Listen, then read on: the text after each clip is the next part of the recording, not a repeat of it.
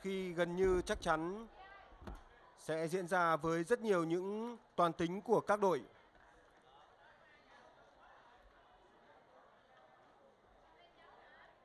Vẫn có 6 đội bóng vẫn đang có cơ hội để lọt vào top 8 của mùa giải năm nay. Đó là BKMX Bình Dương với 17 điểm đang xếp ở vị trí thứ 6 là Hoàng Anh Gia Lai cũng được 17 điểm nhưng xếp ở vị trí thứ 7 do kém hơn về mặt hiệu số. Cùng với đó là SHB Đà Nẵng, Hồng Lĩnh Hà Tĩnh, Sông Lam Nghệ An và câu lạc bộ Thanh Hóa. Để tiện cho việc theo dõi của quý vị khán giả, chúng tôi xin được giới thiệu đội hình ra sân của hai đội như sau.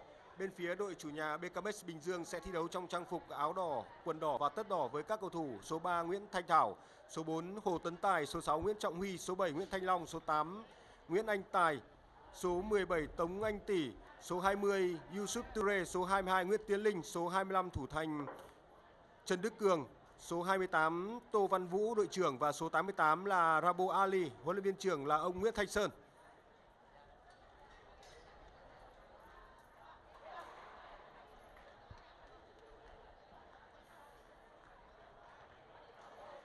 Trong khi đó thì đội khách Viettel sẽ thi đấu trong trang phục màu trắng với các cầu thủ số 3 trung vệ Quế Ngọc Hải, số 4 đội trưởng Bùi Tiến Dũng, số 12 Hồ Khắc Ngọc, số 14 Bùi Quang Khải, số 26 thủ thành Trần Nguyên Mạnh, số 28 Nguyễn Hoàng Đức, số 37 Bruno, số 39 Dương Văn Hảo, số 77 Nguyễn Trọng Đại, số 88 Bùi Duy Thường, số 91 Louis Walter và huấn luyện viên trưởng là ông Trương Việt Hoàng.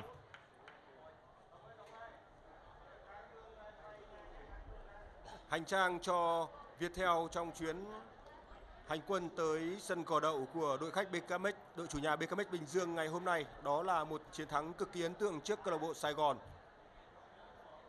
Và chính thức chấm dứt chuỗi 11 trận bất bại của câu lạc bộ này.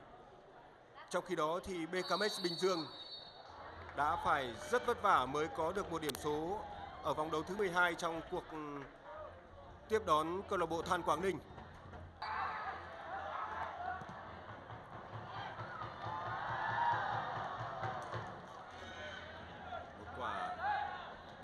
Từ tương đối xa và không khó cho Nguyên Mạnh trong tình huống vừa rồi.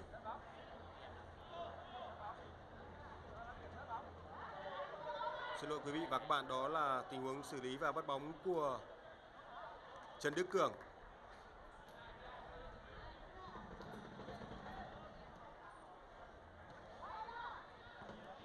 Trong những phút thi đấu đầu tiên, đội chủ nhà BKMX Bình Dương đang nhập cuộc tương đối tốt với ưu thế chủ động và kiểm soát bóng.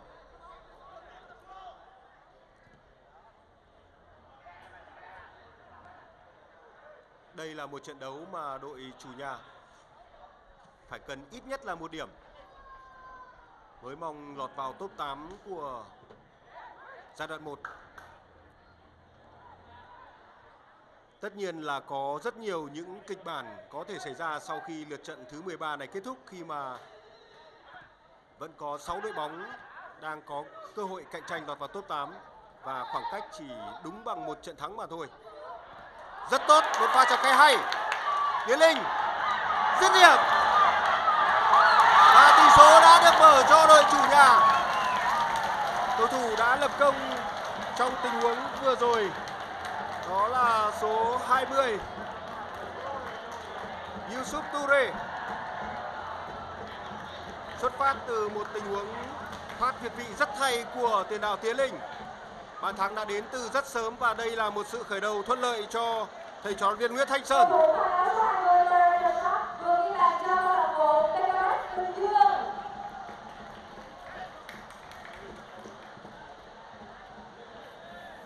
Không tạo ra quá nhiều những ưu thế, nhưng rõ ràng BKMX Bình Dương đã nhập cuộc với một tâm thế quyết tâm ngay ở những phút đầu tiên, bằng việc chủ động cầm bóng và quan sát lối chơi của đối phương và đây là một tình huống mà Tiến Linh đã thoát xuống rất hay. Cùng một đường chọc khe, phải nói là cũng rất nhạy cảm của Nguyễn Thanh Thảo. Pha bẻ lòng của Tiến Linh phần nào đã bị bắt bài nhưng đó vẫn là một tình huống dứt điểm đủ khó để tạo ra những áp lực nhất định cho Cầu môn của đối phương và Yusuf Toure đã ập vào rất nhanh ở tình huống 2. Sau đó Viettel thắng Thảo Ninh ở bán kết và gặp Hà Nội tại chung kết.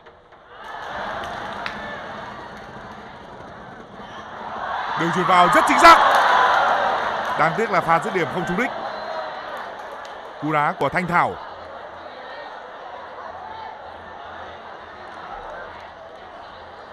đội chủ nhà khởi đầu rất tốt.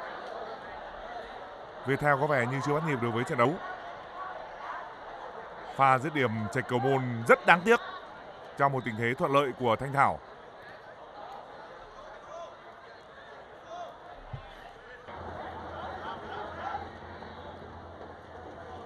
Tống Anh Tỷ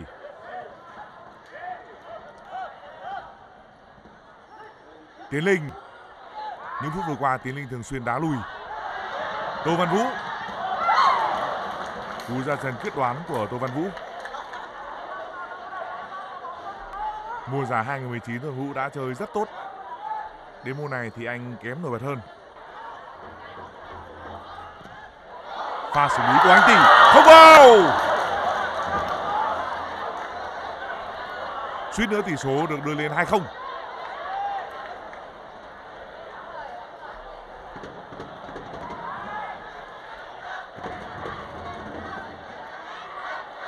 Đưa bóng vào, rất khó chịu của Tống Anh Tỷ.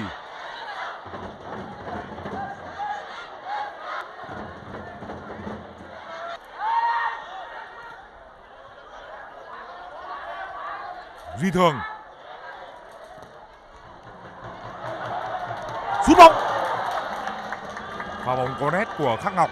Nếu ngả người thêm một chút thì có thể bóng sẽ đi vào cầu môn. Có vẻ như bắt đầu có những sự đáp trả từ phía câu lạc bộ Viettel.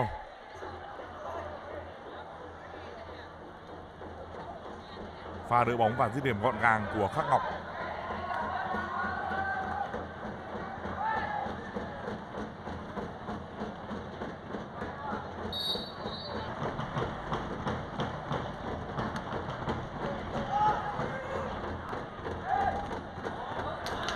Yusuf Toure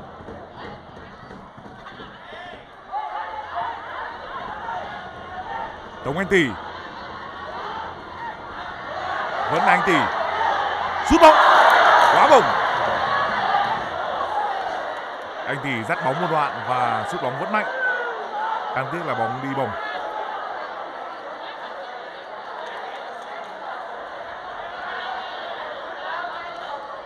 Mọi việc vẫn đang nằm trong sự kiểm soát của huấn luyện viên Nguyễn thanh Sơn.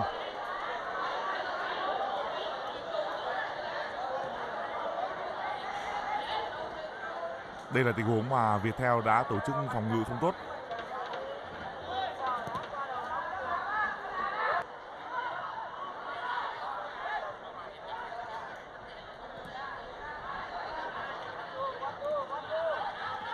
Văn Hào không phải đó là Duy Thường. Bùi Duy Thường. Khắc học, Đánh đầu. quả bóng rất đẹp pha dứt điểm của Bruno Cunha.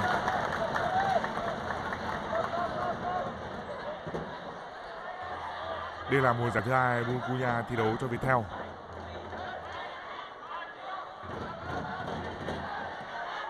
Pha dứt điểm tầm cao ở cự ly quá xa.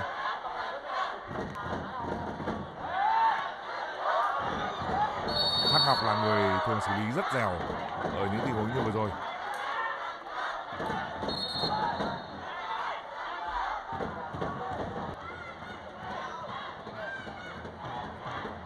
Anh Tài.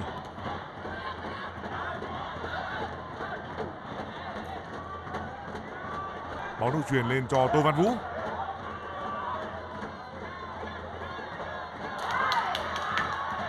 Thanh Thảo, Tiến Linh, Không thể dứt điểm. Tô Văn Vũ, Không vào. Tô Văn Vũ đã không chiến thắng được thủ môn Trần Nguyên Mạnh.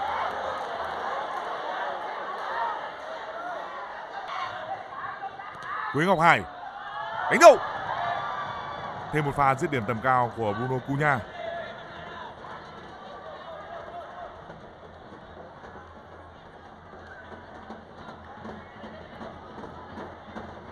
Chúng ta xem lại pha phối hợp của cầu thủ Bình Dương. Tô Văn Vũ đã tung ra cú đá mạnh bằng chân trái, nhưng không thắng được thủ môn Nguyên Mạnh.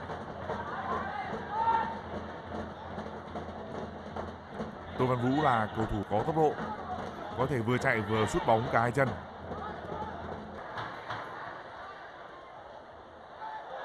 Khắc Ngọc đỡ bóng không được gọn. Cầu thủ Bình Dương đã kịp phá bóng. cầu thủ cầu thủ mặc áo số 21 Nguyễn Quốc Chiến vào sân thay cho cầu thủ mặc áo số 3 Nguyễn Ngọc Hải. Viettel thay cầu đầu tiên. Quế Ngọc Hải rời sân. Vào sân là Đức Chiến. Câu lạc bộ Viettel có sự thay đổi cầu thủ cầu thủ mặc áo số 9 Trần Ngọc Sơn vào sân thay cho cầu thủ mặc áo số 14 Bùi Quang Khải. Tiếp tục có xe đổi người bên phía Viettel. Ngọc Sơn vào sân thay cho Quang Khải.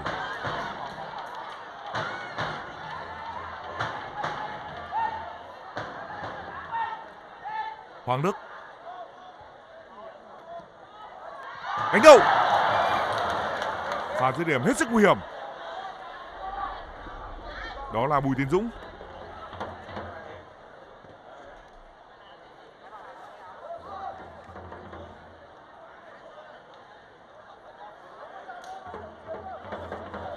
Trung vệ Bùi Tiến Dũng chưa ghi bàn ở mùa giải V-League 2020.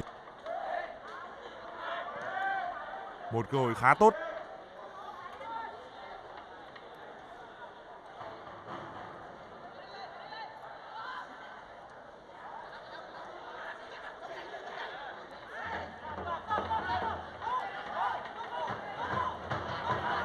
Đài Viettel đang cố gắng dồn đội hình lên để gây sức ép.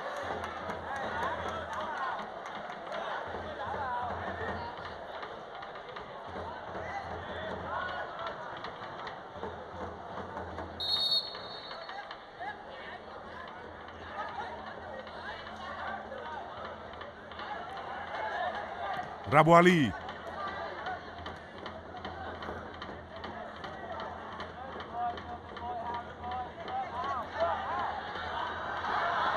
Rất tốt. Yusuf Toure Hồ Tấn Tài bắn lên. Thanh Thảo. Quá hay. hai không cho BKM Bình Dương. Một pha sộc lên rất táo bạo. Hồ Tấn Tài đã mang lại đột biến về chiến thuật. Các thủ Việt theo đã lúng túng với pha giành lấy bất ngờ của Hồ Tấn Tài.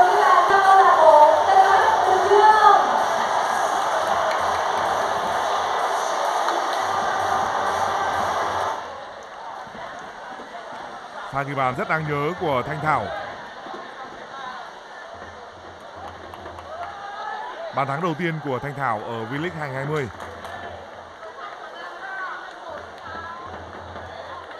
chân trái chính là chân thuận của Thanh Thảo. Cú đá chéo vào góc hiểm. Không có cơ hội cho Nguyên Mạnh cản phá.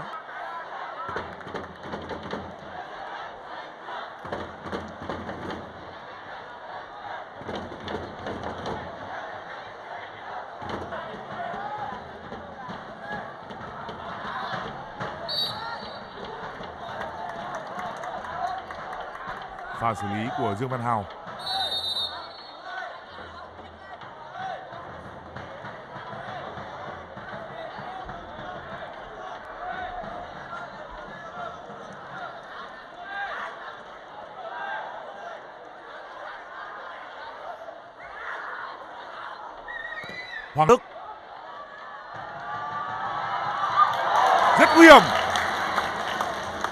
Đức Cường đã kịp phản xạ và đẩy bóng chịu phán góc. Một pha treo bóng cao và sâu của Hoàng Đức. Ngọc Sơn. Trong hiệp một, Ngọc Sơn với Đức Chiến vào sân thay cho Bùi Quang Khải và Quế Ngọc Hải.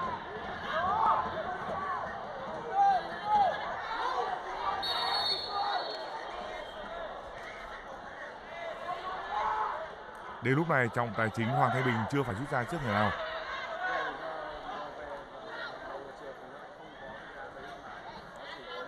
Đứng trước bóng là Trọng Đại. Người đá thấp nhất hàng tiền vệ của Viettel trong sơ đồ chiến thuật 4141.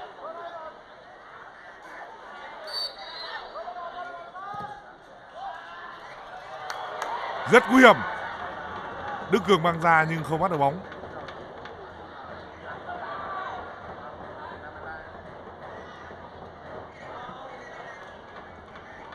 Pha cản phá của Tống Anh Tỷ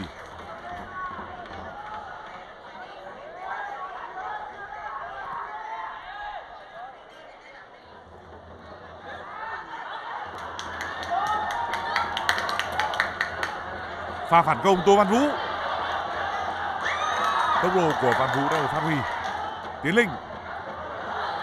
Tô Văn Vũ.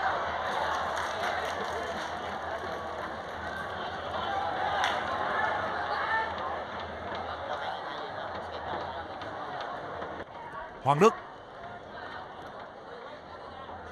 Ngọc Sơn Ngọc Sơn vào sân thay Quang Khải đá tiền vị trái trong đội hình của Viettel.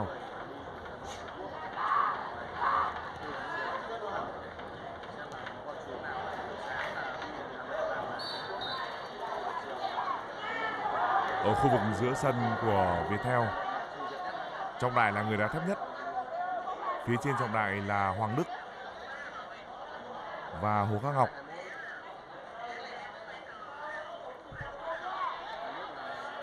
Lúc này cặp tấn công viên của Viettel là Ngọc Sơn ở bên trái và Văn Hào ở cánh phải.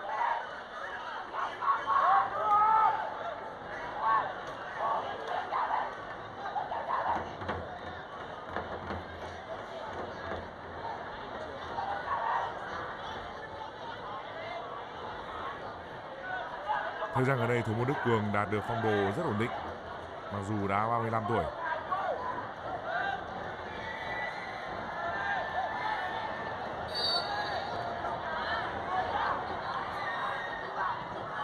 cú đá của Hắc Ngọc, Đức Cường đã chủ động di chuyển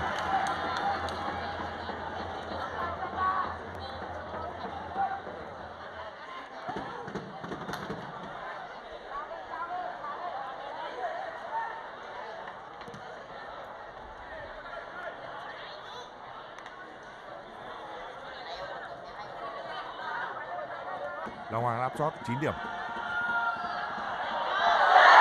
Hugo Pha bóng rất bất ngờ. Bóng ra dội sang ngang. Sau pha dứt điểm của trung vệ Rabo Ali. Một tình huống cố định và Rabo Ali đã có mặt.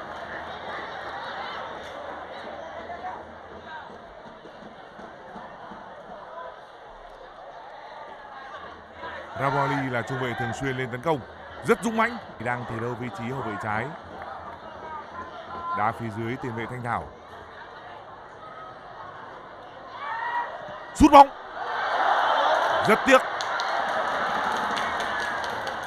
Bruno Cunha đã bị giật mình.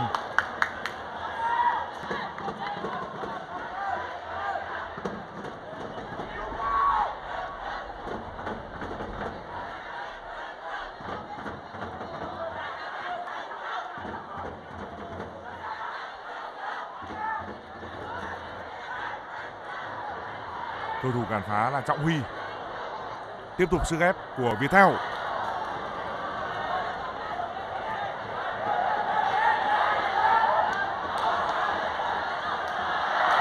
Đường chuyền lên rất mạnh. Nguyên Mạnh đã băng ra kịp thời. Cầu thủ đã truyền lên là Yusuf Toure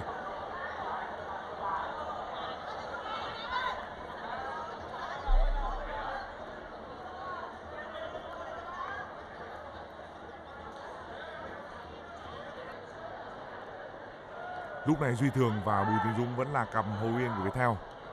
Hoàng Đức. Bình Dương phản công. Lên rất nhanh. Hồ Tấn Tài. Đánh đầu. Hết sức nguy hiểm. phạt dứt điểm của Tiến Linh.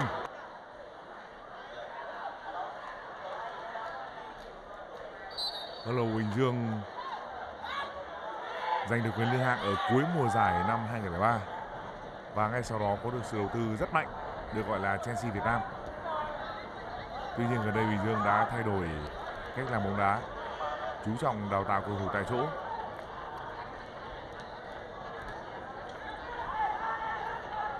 Khắc học Hoàng Đức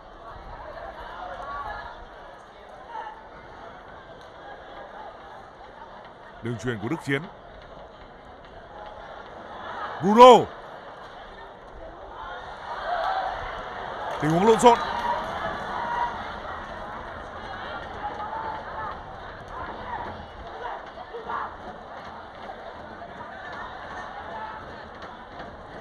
Hoàng Đức.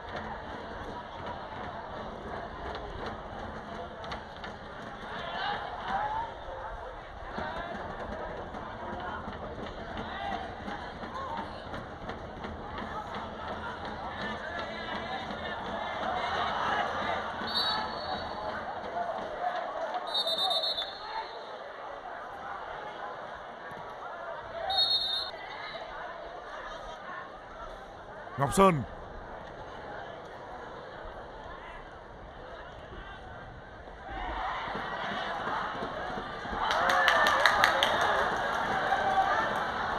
Hồ Sĩ Giáp.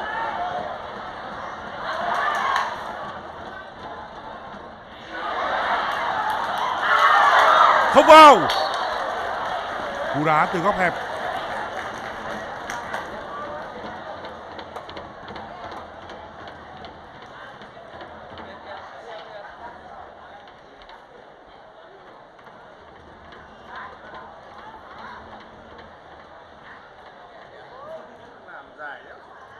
Hồ Sĩ Giáp mới vào sân, còn khỏe. Anh đã ngoặt bóng và tung ra cú đá có lực về cầu môn của Nguyễn Mạnh.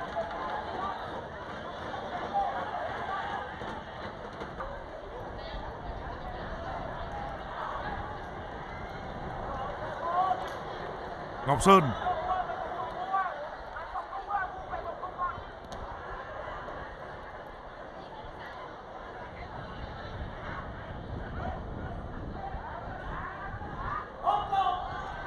pha đầm bóng của Đức Cường.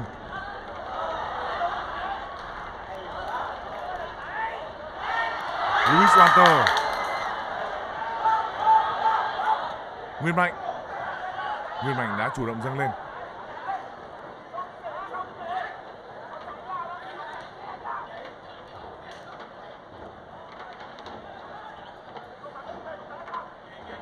Ở hiệp hai này Bình Dương đã rút về chơi phòng ngự phản công và họ đã chơi rất kỷ luật.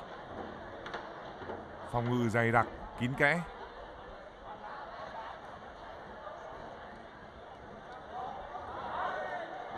Không dễ để tìm kiếm quả phạt. Tô Văn Vũ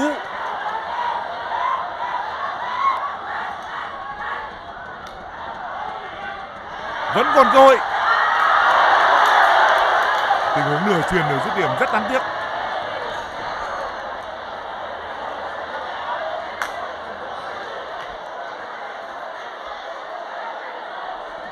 Dương đang chơi sát nét.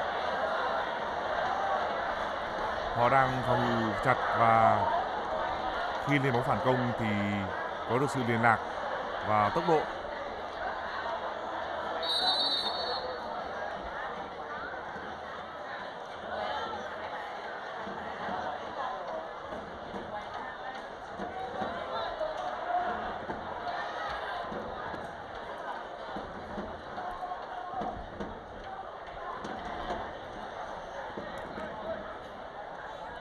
Phút thứ 75, Bình Dương vẫn đang dẫn 2-0 với các bàn thắng của Yusuf Toure và Thanh Thảo.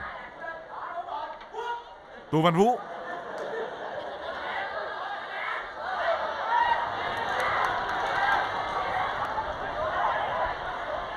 Vũ Minh Tuấn. Cầu thủ vòng trước đã ghi bàn thắng rất đẹp vào lưới Sài Gòn. Đường truyền vào của Việt Phong.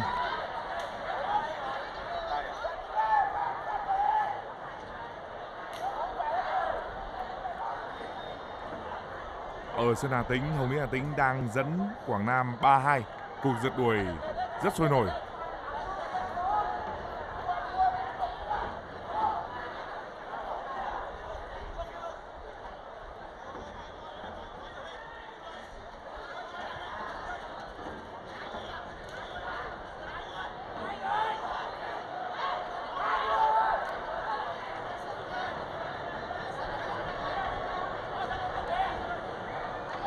Đứng bóng là Vũ Minh Tuấn.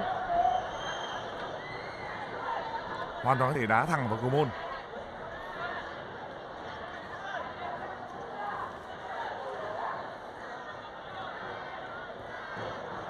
Vũ Minh Tuấn đã có được 3 bàn thắng ở mùa giải năm nay. Đá thẳng vào cầu môn, không vào! Đức Cường đã xuất sắc.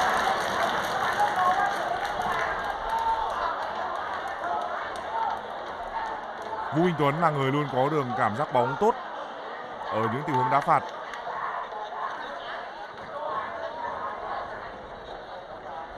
Một pha nhấc quả bóng qua hàng rào rất kỹ thuật của Vũ Minh Tuấn, đưa bóng vào góc hiểm.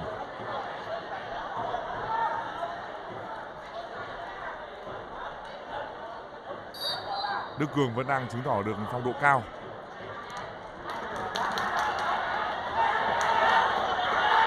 Bình Dương phản công.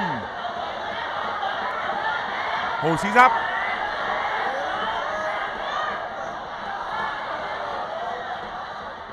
Tiến Linh.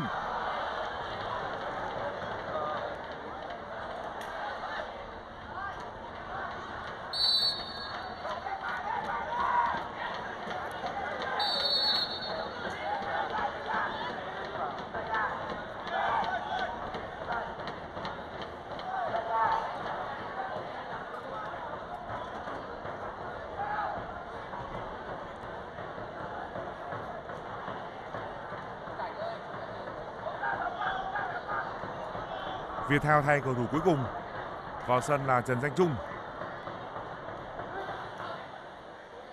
Câu lạc bộ Viettel có sự thay đổi cầu thủ. Danh Trung vào sân thay cho 19, trung vệ Luis Walter. Trần Danh Trung vào sân thay cho cầu thủ mang áo số 91. Đây là thời điểm Viettel đã phải chấp nhận mạo hiểm một cuộc tấn công vào sân thay một trung vệ.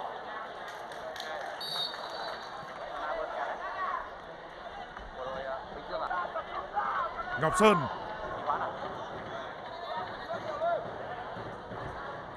Vũ Minh Tuấn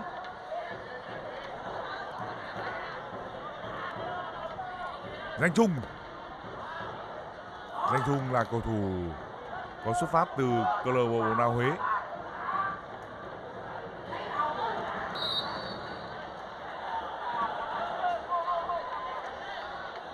Quả phạt lên cho BKM Bình Dương.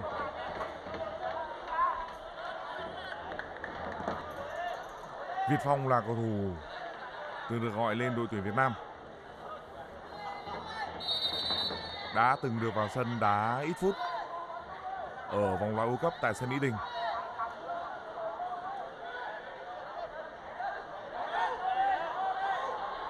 Một tình huống nháy mắt danh mãnh của Rabu Ali. Tô Văn Vũ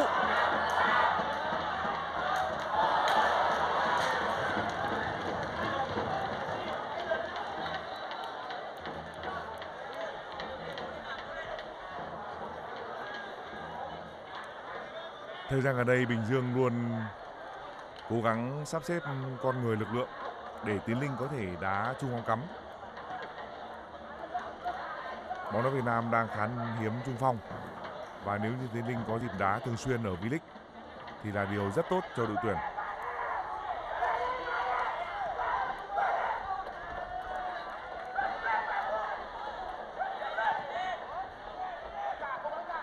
Danh Trung Trọng Huy.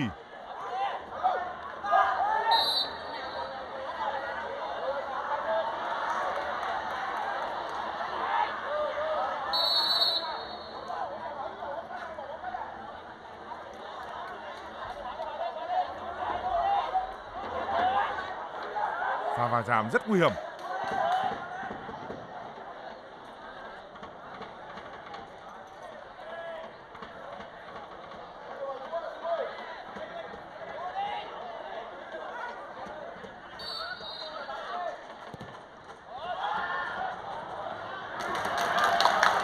Đức Cường đã chọn đúng điểm rơi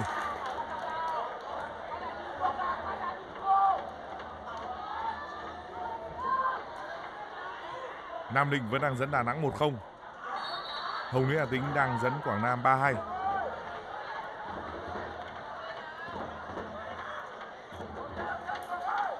Lúc này Hoàng Anh Gia Lai vẫn đang dẫn thành phố Hồ Chí Minh 5-1. Tỷ số đã bất ngờ. Chắc chắn Hoàng Gia Lai sẽ thắng. Và thêm một lần chúng ta lại phải nói đến khái niệm thay tướng đổi vận.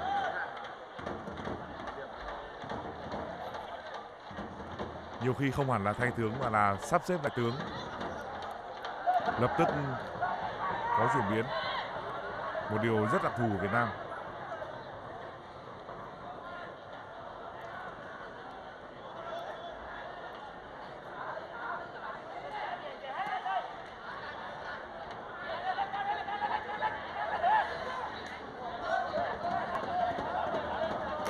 Tiến Linh.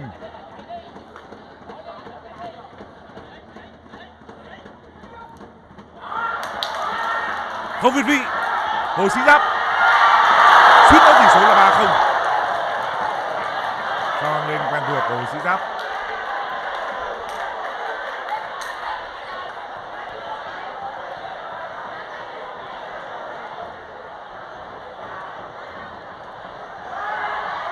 Thành Trung một cơ hội rất tiếc là bóng đi không trúng đích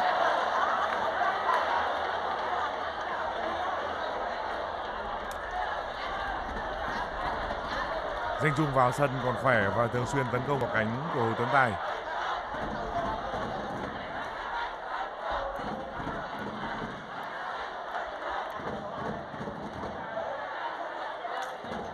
Rất thuận lợi.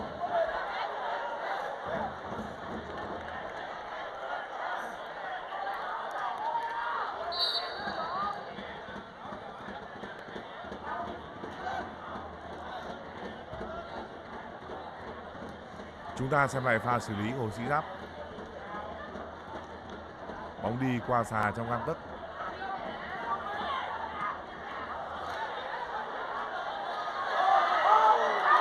Thêm một tiếng nguy hiểm.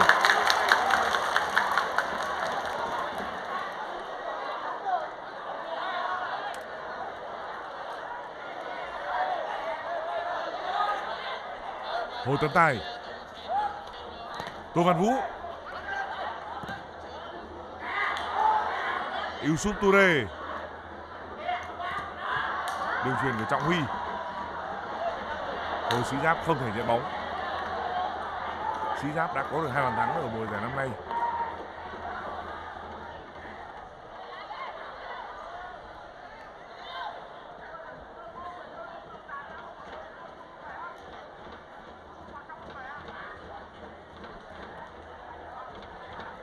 Ngọc Sơn. Danh Trung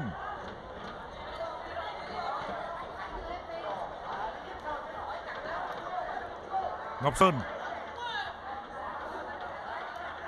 Vừa với Danh Trung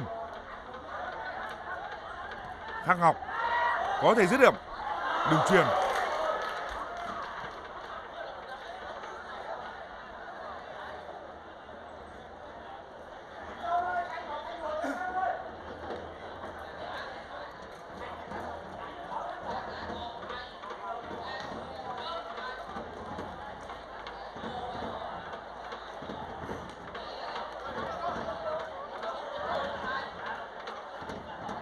Ramoli ra hiệu tấn tài có thể đá tiếp.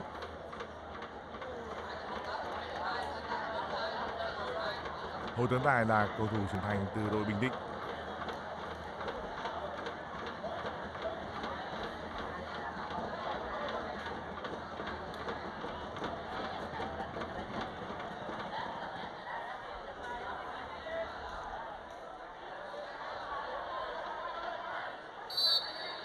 Sân vận động Bình Dương sau khi được nâng cấp, trở thành một sân bóng rất đẹp. Đáng tiếc là gần đây khán giả đến sân Bình Dương không đông.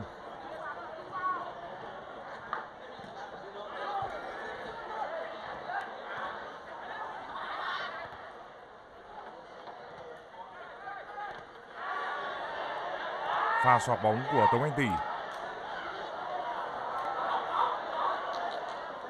Bruno Cunha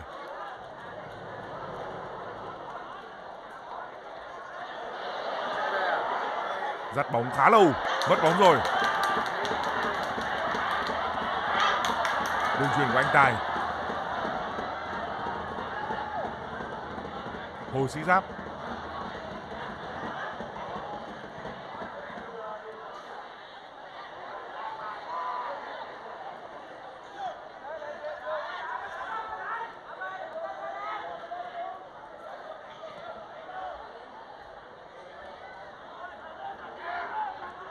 Việt Phong.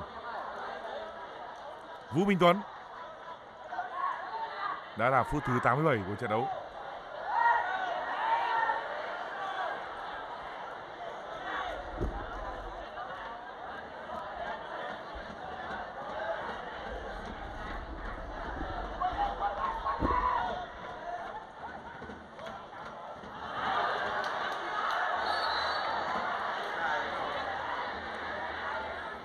Hồ Chí Minh vừa rút ngắn tỷ số xuống 2 năm trong trận đấu với Hoàng Anh Gia Lai ở Pleiku.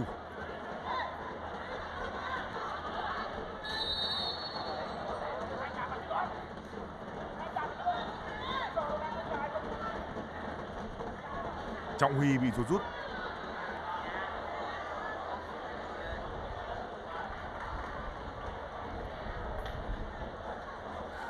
Trước vòng đấu này, Viettel đã thua hai trận ở mùa giải này, còn Bình Dương đã thua 3 trận.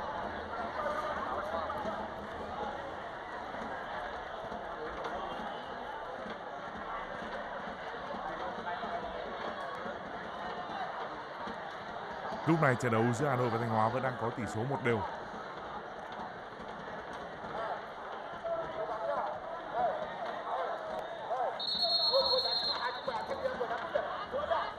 Câu lạc bộ BKMX Bình Dương có sự thay đổi cầu thủ. Cầu thủ mặc áo số 15 Trương Vũ Đạt vào sân. Trương Dũ Đạt vào sân. Số 6 Nguyễn Trọng Huy. Dũ Đạt vào sân thay cho Trọng Huy.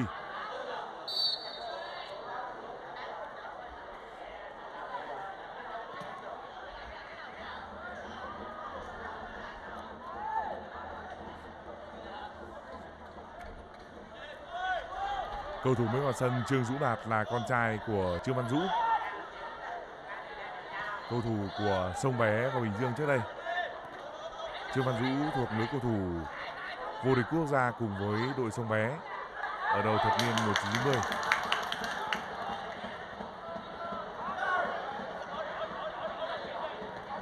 Tiến Linh. Đường chuyển Hồ Tấn Tài.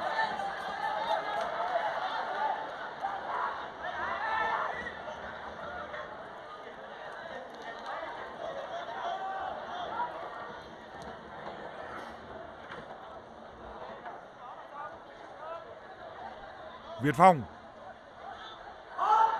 Vũ Minh Tuấn, không vào. Cú đá từ góc hẹp.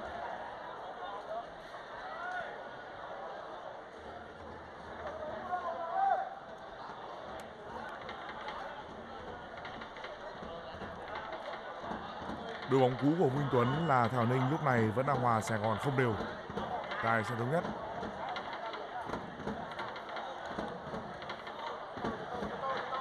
Một tình huống băng ra kịp thời của Đức Cường cũng gây khó khăn cho Vũ Minh Tuấn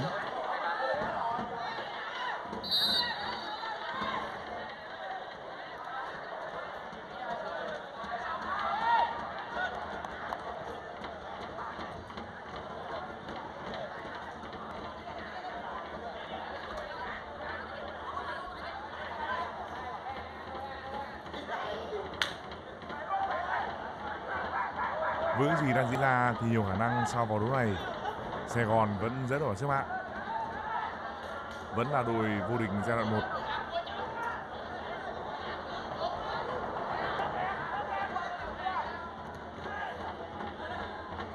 Vũ Minh Tuấn.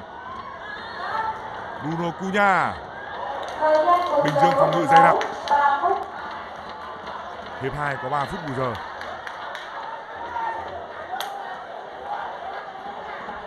Khắc Ngọc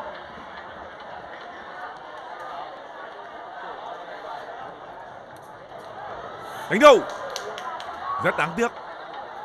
Pha dứt điểm của Bruno Cunha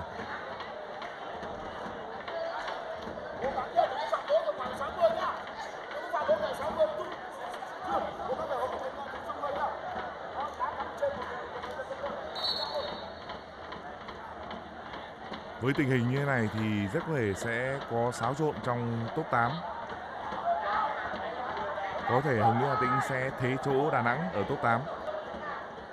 Đà Nẵng sẽ bị đẩy xuống ở nhóm đá để đua trụ hạng. Khắc học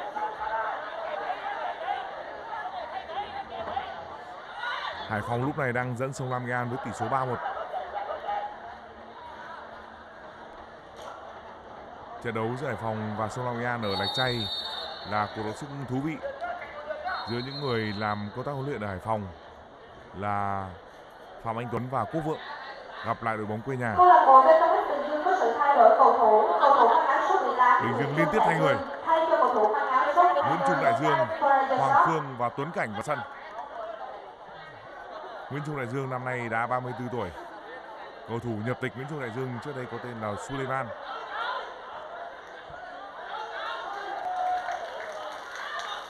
Yusuf Toure rời sân. Cầu thủ mang áo số 9 Đoàn Tuấn Cảnh vào sân thay cho cầu thủ mang áo số 22 Nguyễn Tiến Linh. Tuấn Cảnh vào sân thay cho Tiến Linh. Cầu thủ mang áo số 14 Trần Hoàng Phương vào sân thay cho cầu thủ mang áo số 17 Tống Anh Tỷ. Tống Anh Tỷ rời sân. Hoàng Phương vào thay Tống Anh Tỷ.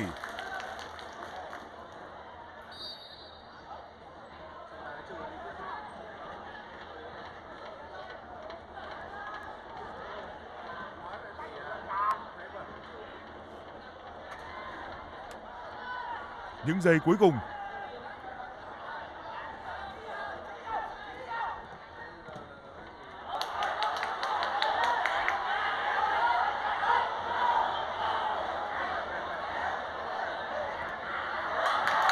truyền của Nguyễn Trung Đại Dương.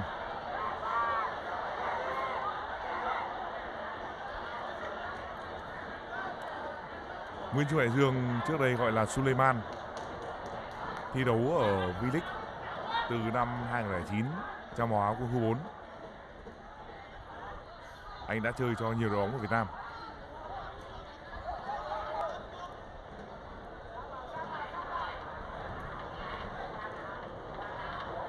Đường truyền vào của Danh Trung.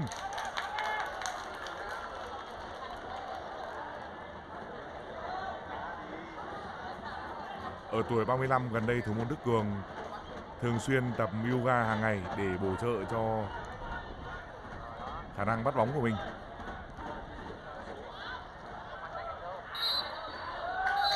Và như vậy là trọng tài Hoàng Thái Bình đã nổi tiếng bán cuộc 2-0 cho Bình Dương là tỷ số cuối cùng. Bình Dương đã xứng đáng chiến thắng ngày hôm nay.